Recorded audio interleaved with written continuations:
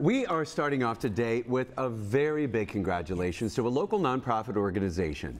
Black Art Speaks has received the Organization Award from the Ohio Dr. Martin Luther King Jr. Holiday Commission. So, this award is for successfully bringing people from diverse backgrounds together mm -hmm. to build a better community and advance equity. That's right. And what better way to celebrate than on this special day with Alandes Powell, the co founder and executive director of Black Art Speaks, and Annie Ruth, an inspirational artist, well known in the community and an advocate. Good morning, ladies. Good morning. So glad to have you here. This must be quite an honor to receive. What was your reaction when you found out?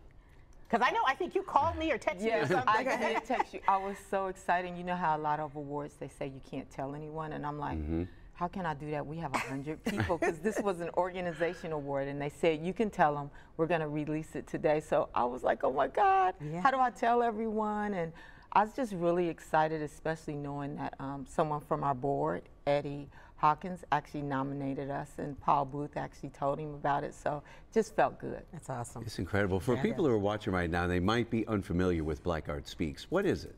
Um, it is an arts collective made up of a number of artists. It started off 17. We're almost to over 100 now. Yes. Wow.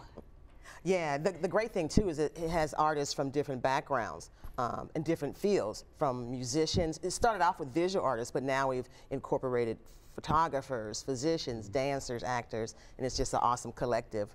And it, Anna, you have so many, so many people, talented people on your team. What is it like for them? What does it mean to you? What is it like for them? I mean, everybody has to be so excited. You know, actually getting an award that's named in honor of Martin Luther King Jr. Mm -hmm. uh, and the legacy that he established is really an inspiration to all of us to continue that legacy and continue to pass it on down through the generations, through mentoring and bringing other artists in as well. Wow. So when you talk about all the art that you've worked on, all the different projects, is there a favorite that stands out? Oh my goodness. I, I love the initial project because when we, we did the mural, um, it brought in volunteers and people from all walks of life. So it was more than just artists. There were youth, there were um, corporations and businesses, and just volunteers off the street who dived in to paint the mural. So that'll always have a fond memory in my heart. Absolutely. And Alandes, this is your vision, your baby. How, what is it like to have this happen? What is the impact on the organization? Um, the award itself, I think, going back to what Annie said, like anytime you say that you are living um, and your organization is living what the dream was of yeah. Dr. King, you can't mm -hmm. help but like have those moments where, oh my God, we're doing something right. that he would have wanted us to do, and we're following in some of his footsteps. That means a whole lot. But this is your vision, right? Yeah. Um, I, I'll say it's my vision now. I kind of fell into it. You know, most people know I'm not an artist, but social justice has always been something yeah. important to me in everything I did. And being able to do it through the beauty of art yeah. is what's making it. Every day it becomes a larger vision for me, but I never thought I'd be here. So Never. certainly uh, the award is, is very incredible, but I know you're not going to rest on your laurels. What What is coming up in the year ahead? What do you oh. have planned?